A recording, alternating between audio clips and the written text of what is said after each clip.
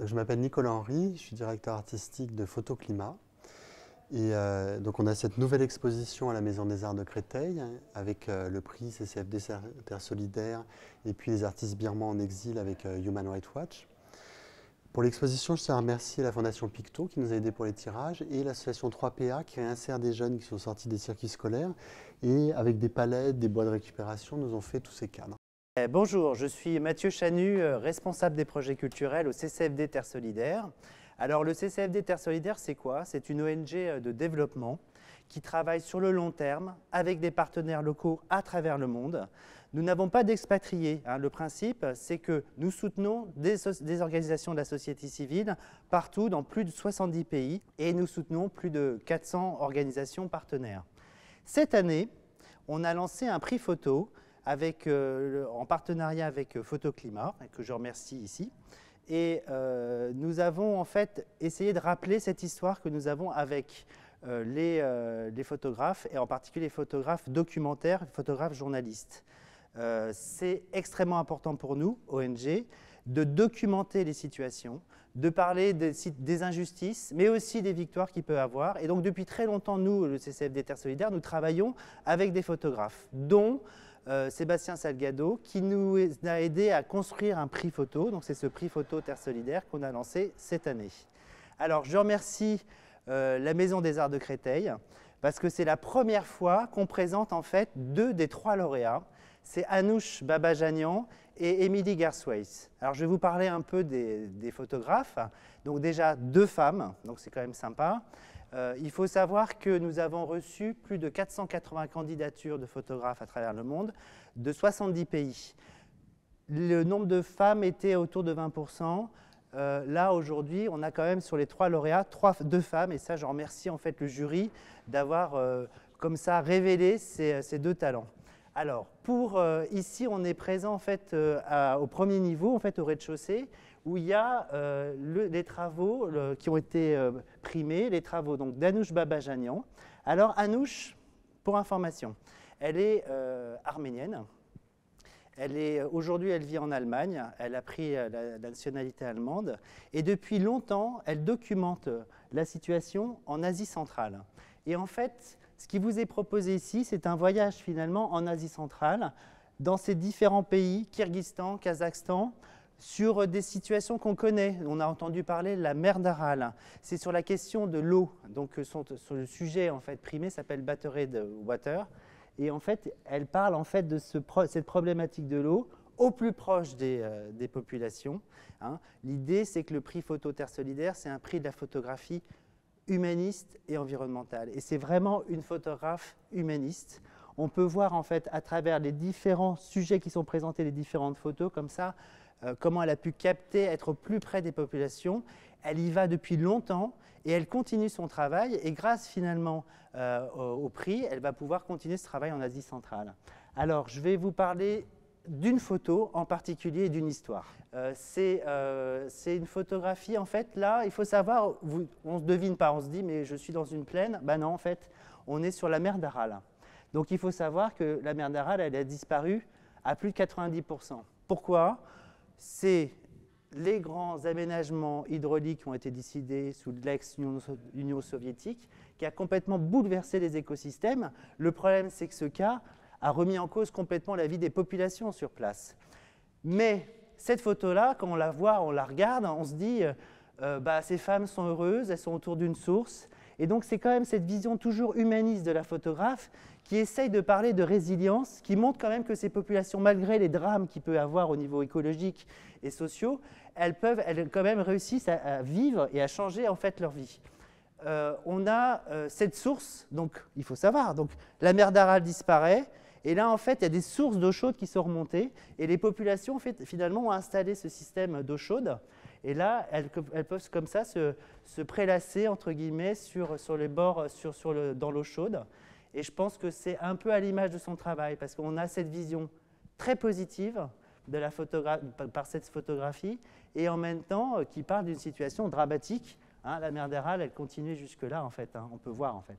Alors, il faut savoir que Emily Gersweis, elle vit depuis quelques années à Erbil, au Kurdistan.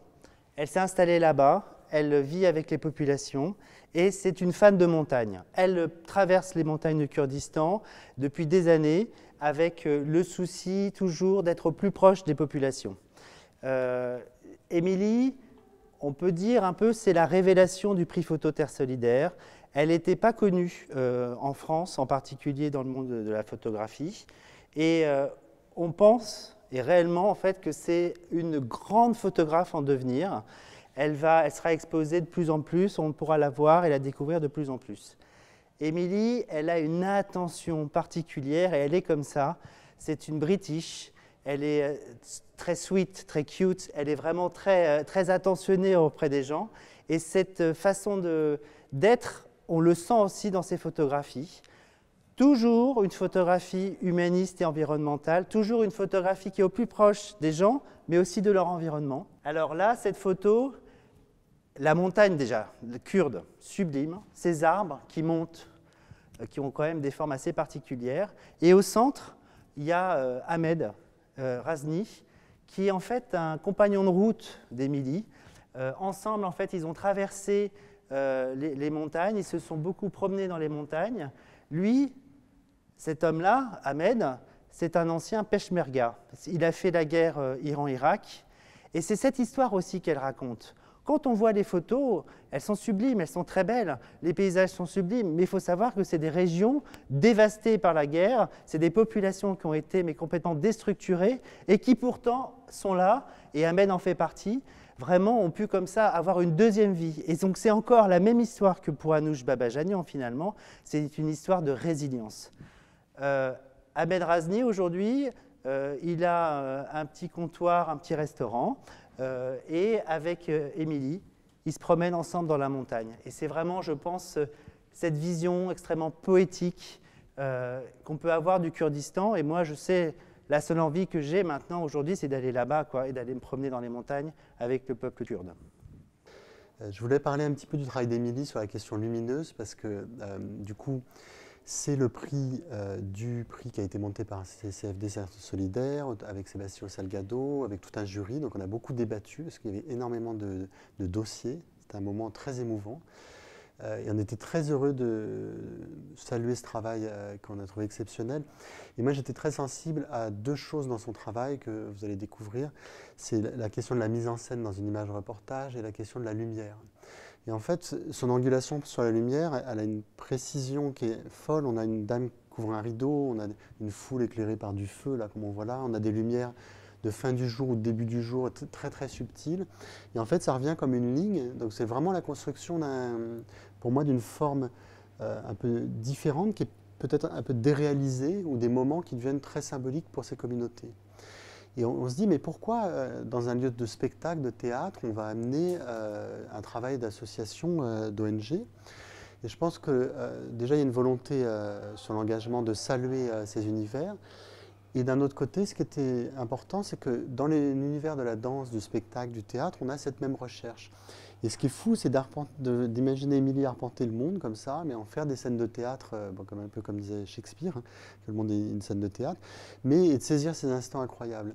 Et je pense que visiter ces expositions, c'est une manière de sensibiliser euh, peut-être dans son âme et son cœur euh, au, travail des ONG et avec les personnes qu'on rencontre dans les photographies, mais aussi ça nous ouvre en fait la porte du réel en fait qui est dans les spectacles avec tous les processus lumineux, euh, les chants et tout ce qu'on va entendre euh, par la suite. Photoclimat en fait le but c'est de mélanger les ONG et les artistes et de sensibiliser le public euh, le plus large possible en fait à leur engagement.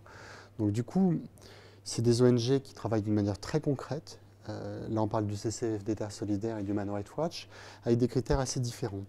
Ce qui est magnifique dans le CCFD, c'est qu'en fait, c'est des projets locaux. C'est-à-dire, en fait, c'est une ONG qui va aider plein d'autres ONG. Et en fait, chacun de ces projets, il va se faire avec les gens. Et donc, c'est cette communauté qui, se prenant en charge, en fait, avec un tissu d'association locale, va pouvoir construire un projet transformateur. Et ça, ils font ça depuis 60 ans.